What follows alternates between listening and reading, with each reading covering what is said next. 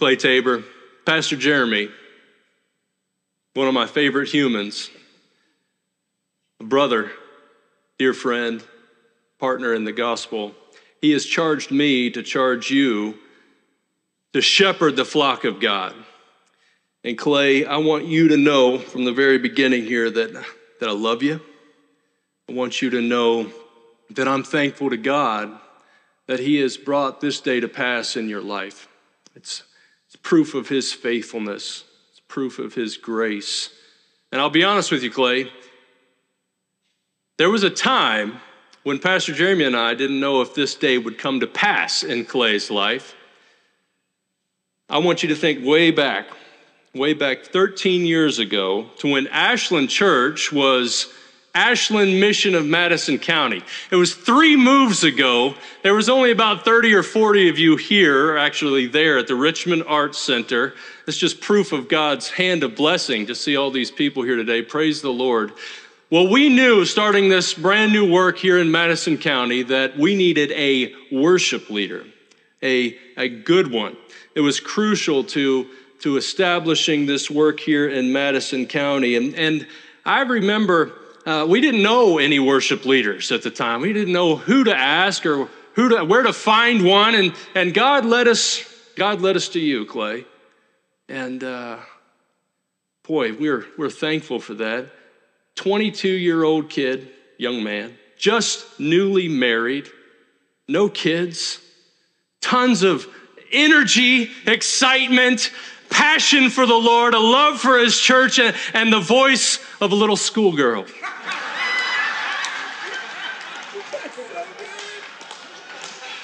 And Pastor Jeremy and I would, would talk to one another. We'd say, he'd say, I don't know, Nate.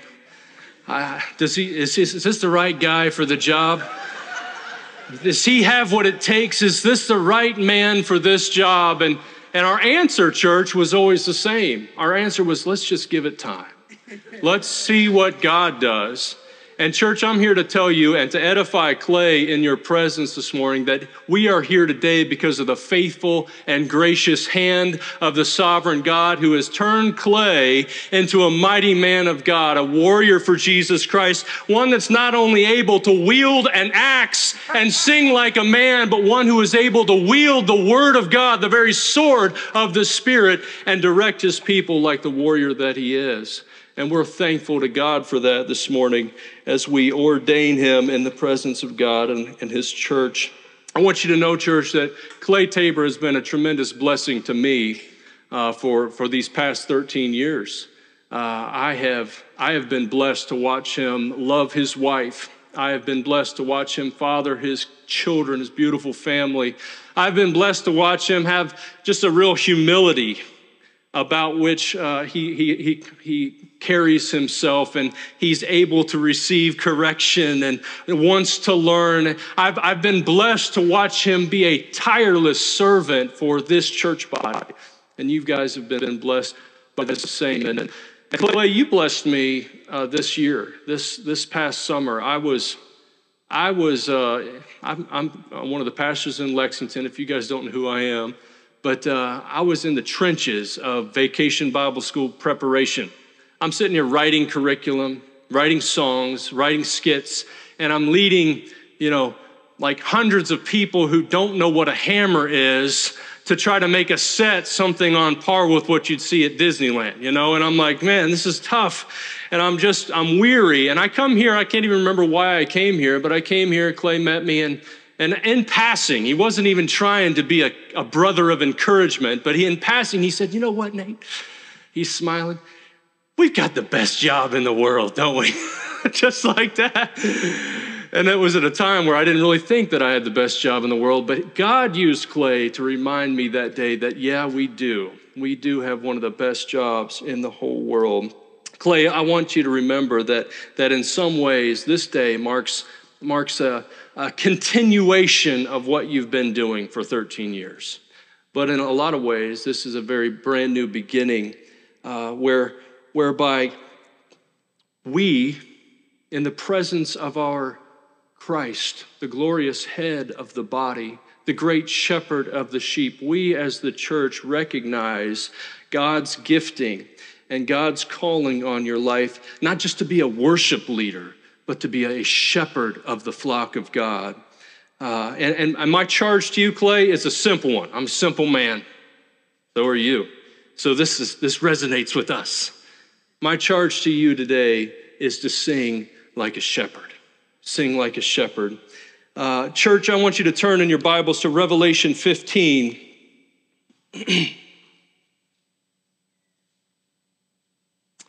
Revelation 15, verses 2 through 4. We have here written the lyrics of a shepherd's song.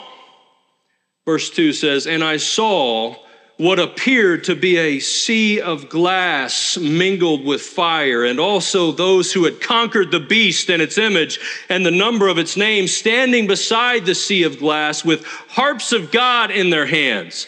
And they sing the song of Moses, the servant of God, and the song of the Lamb, saying, Great and amazing are your deeds, O Lord God the Almighty. Just and true are your ways, O King of the nations. Who will not fear you, O Lord, and glorify your name? For you alone are holy. All nations will come and worship you, for your righteous acts have been revealed. Clay, the Apostle John has given us here a vision of the end given us a glimpse of glory, where, where the redeemed of God stand as conquerors in Christ. They stand beside a sea that is as still as glass. These are still waters.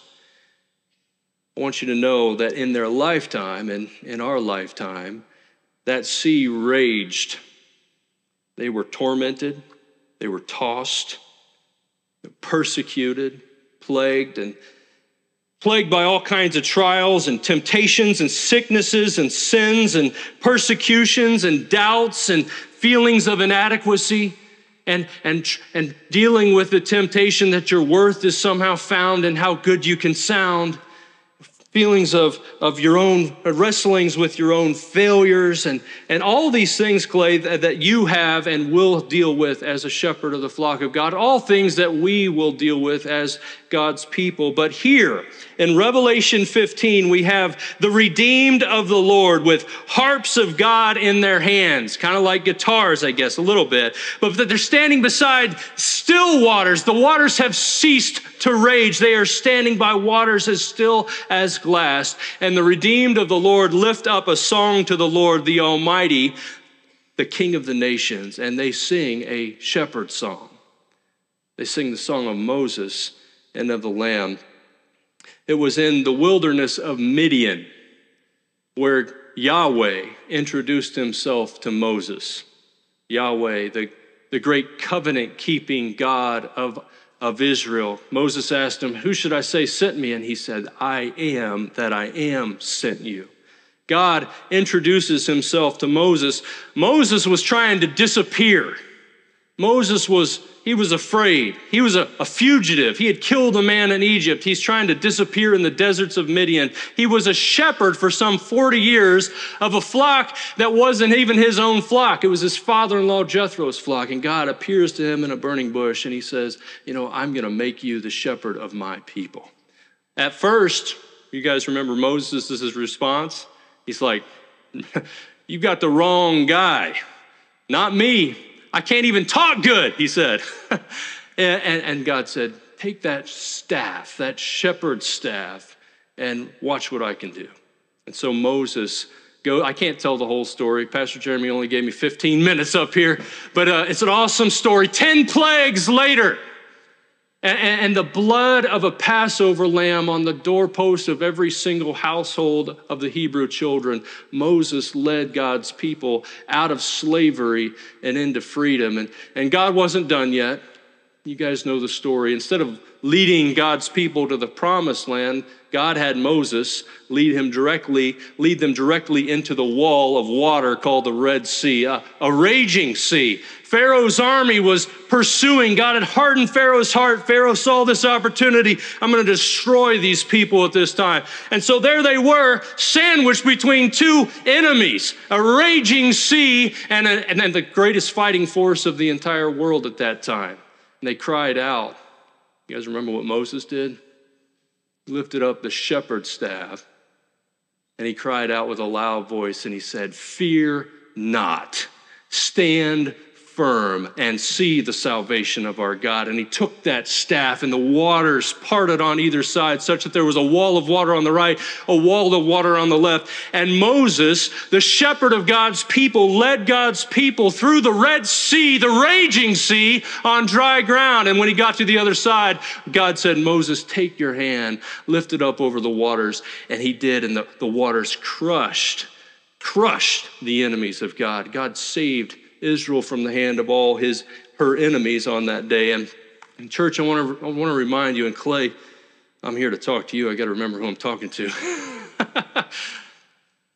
like me and you, you know, Moses was probably a little, a little bit nervous when he was called on to preach. You know what I'm saying? Didn't have a whole lot to say. Now you have a lot to say, but. Uh, when he was called on to preach, he didn't have a whole lot to say, but but here on the other side of the Red Sea, he didn't need anything to say because God gave that shepherd Moses a song to sing. Listen, church, to what he sang in Exodus chapter 15. I will sing to the Lord for he has triumphed gloriously. The horse and his rider he has thrown into the sea. The Lord is my strength and my song. He has become my salvation. This is my God, and I will praise him, my Father's God, and I will exalt him. The Lord is a man of war. The Lord is his name. He concludes this long song by crying out, The Lord will reign forever and ever. Clay, it's no surprise that, that on on the, the shores of the Sea of Glass in Revelation 15, they are singing the song of Moses, shepherd of God. Uh, in light of this shepherd song, the song of Moses, Clay, I want to charge you to sing like a shepherd. Uh, in your ministry, sing the song of, of victory sing the song of the triumph, not of your triumph, not of the, even necessarily the triumph of this church, but the triumph of the, the head of this church, Jesus the Christ, whose death, burial, and resurrection sealed the fate of sin and death and Satan himself. Sing that song, Clay. Sing like a shepherd. Mm. There's another song in this heavenly medley you know what a medley is? That's an old fashioned term for more than one song put together. It's a mashup, a heavenly mashup. Is that what you say now? Clay is so cool. He is so cool. I am not. It's the song of Moses and the song of the Lamb. And will you say, how is the song of the Lamb the song of a shepherd? It was Jesus, the Lamb of God, who said in John chapter 10, verse 11, I am the good shepherd, and the good shepherd lays down his life for the sheep. Jesus, who looked at Jerusalem and wept because they were like sheep without a shepherd. Jesus was that good shepherd who became for his bride, the church, the spotless Passover lamb, the lamb of God who laid down his life for us. The shepherd became a lamb so that we might we might be forgiven. The shepherd became a lamb so that he might bear in himself the full brunt of the fury of the wrath of Almighty God on sin, so that we, church, would not have to. I love what Isaiah says all we like sheep have gone astray. We have turned every one of us to his own way, but God has laid upon him, that is Christ, the iniquity of us all, the justice of a holy God was fully met when he poured his wrath out on his own son in our place. He who knew no sin became sin for us so that we in him might become the righteousness of God. Brother, Clay, if ever there was a song to sing, it's the song of the Good Shepherd, the song of the Lamb. So sing like a shepherd. Church, I got to say this. I've kind of been talking to both of you, but this is mainly to Clay, but now it's mainly to you. There is no room for half hearted praise in light of such a great salvation. In light of so great a salvation, there is no place for anything less than your everything as you sing the Good Shepherd song, as you sing the song of the Lamb. Remember who you were. You were once a citizen of the kingdom of darkness, but God in Christ, through the death, burial, and resurrection of Christ, has transferred you out of the kingdom of darkness and into the kingdom of his beloved Son in love. You were once a slave to sin, but God in Christ has set you free from sin. And I love what Jesus says if the Son has set you free, what? You shall be free indeed. You were once dead in your trespasses and sins. You were without hope in the world. You were completely incapable of raising yourself to life. But God, who is rich in mercy, has made us alive in Christ. By grace we have been saved. Church and clay, this is, this is the song of the Lamb. It is a church, it is a song we're singing. What a song we have to sing. He is worthy, church. He's worthy, Clay. He's worthy of all blessing and honor and power and glory. And so sing, sing like a shepherd. Hmm. Clay, sing the song of a shepherd like Moses. Sing the song of a shepherd, the good shepherd like the lamb. Sing the song in such a way that you're so amazed and so enthralled at the mighty acts of God that your church can't help but know God better because of the way you sing. Sing in such a way that you're so humbled and undone by His grace on your life in such a way that, that your song, Clay, becomes the song of this body. It's a song we will sing together for all eternity. Clay, every Lord's Day, you have the opportunity to lead a heavenly choir practice before we even get to heaven. So prep your congregation in such a way. Prepare them to sing that song. Now, church, we're going to sing it better, praise the Lord, on that day when we see him face to face. But Clay, it's your job, it's your job to teach them this song before they get there. Clay, may your ministry as a faithful shepherd of the flock of God, and may your life's song be the song of a shepherd, the song of Moses, the song of the Lamb. Great and amazing are your deeds, O Lord God the Almighty. Just and true are your ways, O King of the nations. Who will not fear you, O Lord, and glorify your name? For you alone are holy. All nations will come and worship you for your righteous acts have been revealed. Clay, this is the greatest job in the world. So sing like a shepherd.